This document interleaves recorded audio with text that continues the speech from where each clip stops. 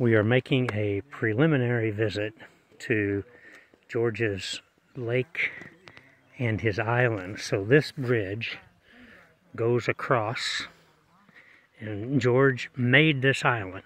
He wanted to have an island because he wanted to build a bridge. And so he's got the island and he's got the bridge. And I'll probably take another video later when all the people are here. We're going to have a big gathering down here tonight. But he said he's this is his lighthouse over here. And he says he built it a little bit too close to the shore because it's starting to lean. So I said you could call it the Leaning Tower of McGargill.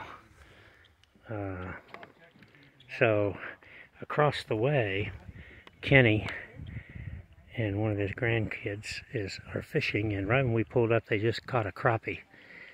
Uh, and George said there's too many crappie in here, so throw it on the other side of the dam because uh, he's trying to clear out the crappie and uh, just keep the bluegill.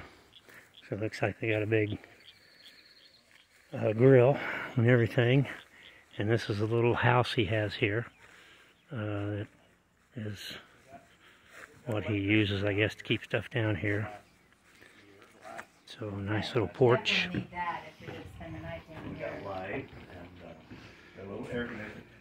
I'm trying to get Oh, this thing nice insulated, loft. but Yeah, gosh, you can't believe what it cost. yeah, probably. a Yeah. I had a guy do an estimate.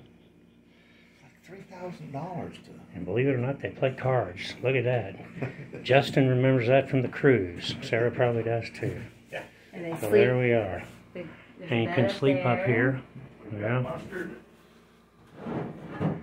Yeah. That Oh, opens is out into a bed.